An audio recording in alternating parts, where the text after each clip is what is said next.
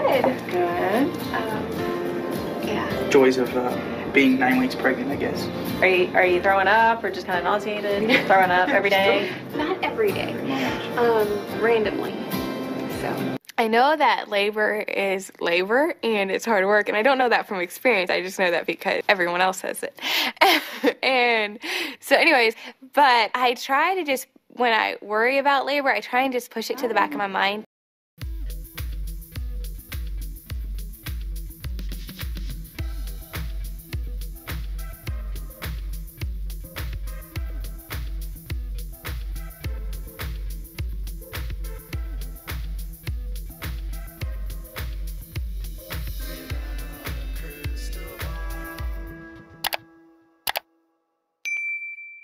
Hey everyone, it's Katie from Without a Crystal Ball. Welcome back to my channel. It's Wednesday, January 11th, 2023, and I hope you're having a wonderful day.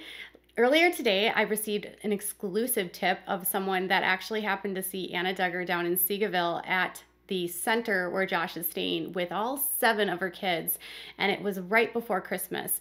And so I have some tea that I'm about to drop with you that might be a little bit disappointing for some of you and maybe a little bit disheartening but it involves Anna Duggar traveling with seven children from Arkansas to Texas, a visit with Josh and her that was anything but pleasant and a lot of tension that was in the air the day that these children were in the visiting center.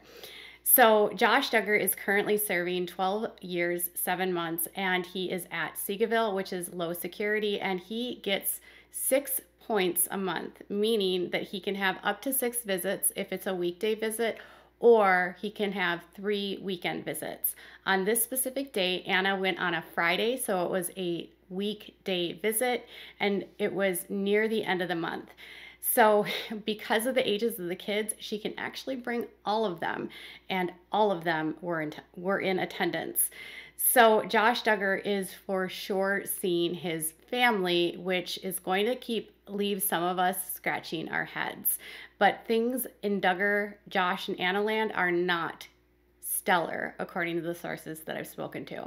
Before we dive into today's topic of Anna Duggar traveling to Texas with the kids, can you do me a big favor and give this video a thumbs up? Also, please subscribe to my channel if you've not yet subscribed and turn the notifications on so you know when I go live or new content loads. And as always, make sure to share this video with your friends and leave a comment if you have something to say. So earlier today, I received a message from a woman who has a loved one in Seagoville, and they actually happen to have the same day of visiting as Josh. Apparently, the visiting is based on the, the like the num the specific number of the name, your fifth letter of the name, and whatever that is, if it's odd or if it's even, I don't know, but their loved one has the same visiting as Josh, and apparently this person is there quite a bit and has happened to see Anna and some other guests that have gone to visit Josh.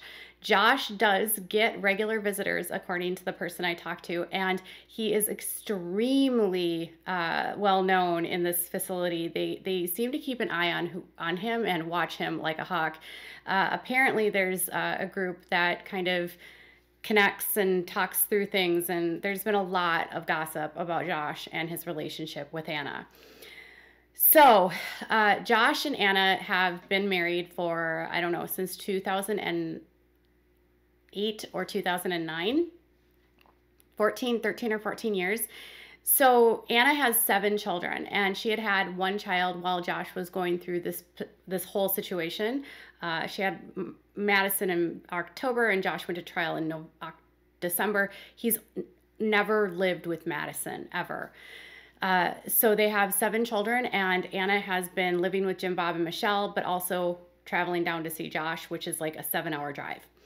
So this is what the source told me. So on the day in question, Anna arrived in the morning with all seven of her kids. Apparently, when you do a visit, the kid uh, there is you can bring money in with a bag that's like uh, uh, clear bag. So everything that you bring into the facility, there's certain things that you can bring in and certain things you can't, but everything has to be in a clear bag because they have to be able to see what you're bringing in. So you can bring in money to use the vending machines. Vending machines are extremely expensive. So on the day in question, Anna was there with all of the kids. Apparently, during this visit, Anna was with not basic the way that the source described it was Anna and Josh were not even talking. Uh, Josh was interacting with his kids, and Anna was basically like corralling the kids, chasing after Maryella. And Josh sat and held Madyson the entire time. So that's the baby, and then was also interacting with um, Maryella, um, with Mason and Meredith. And then the older kids wanted basically nothing to do with Josh. So the way that this person explained is that generally on like visiting days when kids come, families will do things like together. Like there's a kids play area where the kids can play. Um, the inmates have to stay in a specific area, but they have games that they can play. So there's like board games and there's coloring that they can do, uh, where everyone in, in the family can kind of be together. And on this specific day, uh, the kids, the older kids, wouldn't even talk to Josh, wouldn't even look at him, wanted nothing to do with him, the source said. And they also said that Anna and Josh like barely even uttered a word to each other. Like the way that it was described is Josh was sitting on one side of the, the table and Anna was sitting not even across from him, but down with the other kids. And Josh was like in another land, just sort of hanging out with his baby girl. I was actually pretty shocked to hear that all seven kids were there at a time, but apparently there's a rule that if kids are under the age of five, they don't count. And so there's only supposed to be like a five max per visit. But in Josh's case, because so many kids are under the age of five, they were able to come with all seven kids. She drove down in a like black car, like black cargo van, I guess, uh, and she was by herself. So there was no other adults with her.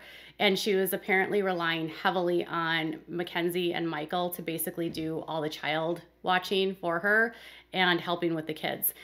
But Anna, they said, looked stressed out. She looked upset. She didn't look happy. Josh seemed disinterested, not engaged. He, they said that they didn't even touch. They didn't greet each other with a hug or a kiss. They didn't uh, hug or kiss goodbye. It was very awkward, they said.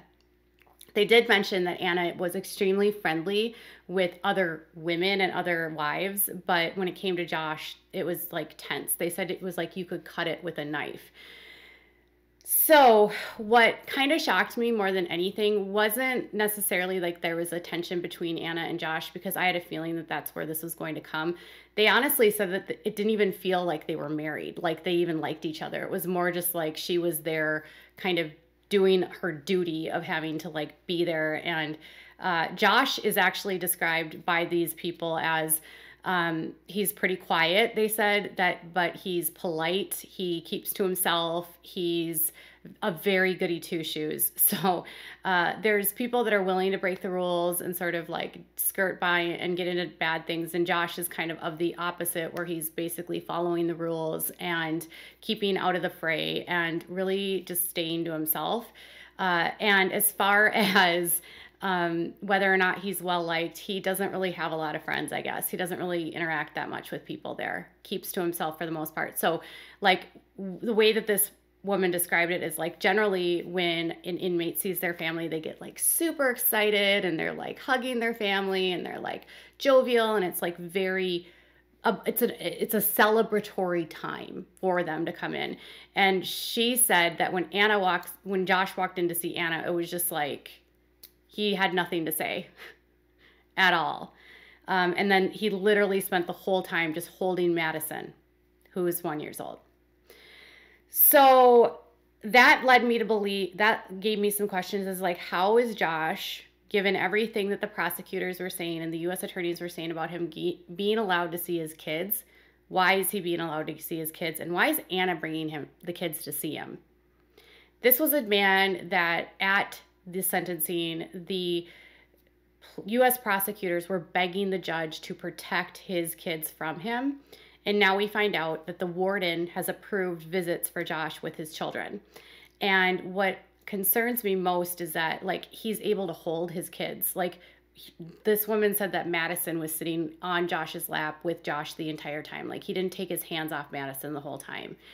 And another thing that kind of made me realize something is that the older kids, she said, seemed angry with him, like didn't want to talk to him, didn't want to see him, weren't very interested in in him, and that actually doesn't really surprise me. I would guess that Mackenzie and Michael are old enough to be angry with their dad for being gone. They probably understand what's going on with their dad, and they're probably mad about it. But what concerns me more than anything is Anna bringing the kids to see him.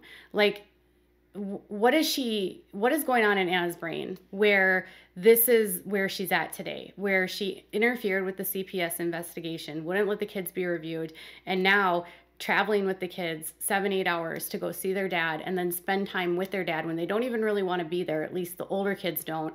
Uh, the way that this woman described it is that aunt, the oldest kids like mackenzie michael marcus uh, even meredith were kind of like indifferent to josh and it was only the youngest ones the little ones that wanted anything to do with him and he was only interested in the little ones. He didn't have he didn't want anything to do with the older ones either they said and another thing that they said is that Josh has had other visitors, and what they thought was very different here is that Josh has had a couple visitors that they're not sure who they are. We're still kind of working out those details to figure this out. But when he has had other visitors, he is completely opposite as when Anna's there. So uh, he's had a couple friends come visit, and when they visit, he's like engaged, he's like excited, he's you know very invested in like the conversations, he's leaning into the conversations, he's you know he's interested. But when Anna's there, he's like, I don't even care anymore. So this is I this is odd to me because Anna and Josh are supposed to be, you know, like in love, right? And Anna's like never going to leave him because of her faith. But this literally sounds like misery. Like they don't like each other apparently. The kids don't even want to see him and Anna is bringing the kids and putting them through this. And I still can't believe a warden would sign off on this. Now, when I talked to a mom who had a son there, she had said that they don't like to punish the children and they don't like to punish the family for what the inmates have done. And so, because of that, they don't like to keep parents away from their kids if the kids want to see them and if the other parent allows it. We all know that Anna's not the best judge of character and clearly doesn't make the best decisions, but to know that she's there is shocking. And so obviously I wanted proof and so I got some photograph some photos of Anna like walking out of Seagoville. So they were taken in public. They're not inside the facility and she was definitely there. Uh, she has been going again, like I said, at least once a month, and visits are generally tense. He is much nicer, apparently, with other people that are not Anna. So, Josh and Anna's relationship is definitely not doing very well, and the kids are being forced to go see him. I I try to imagine a world where someone can go to prison like Josh with the conviction that he has and then have a wife stand by him, knowing what he's done, refusing to believe what he's done and then bringing the kids to see him knowing the ages of the children that were in the videos and then allowing your your husband to hold that infant the entire time and apparently this is what the person said is that visits start in the morning and they're from like 9 until 3:30 and they can literally stay all day long as long as they want. They get a break at like 11 to go to the restroom, but beyond that like it's a very loose and lax environment. Uh, they could theoretically visit multiple times a weekend. Like, say if she travels to Arkansas, he gets visits on Saturdays.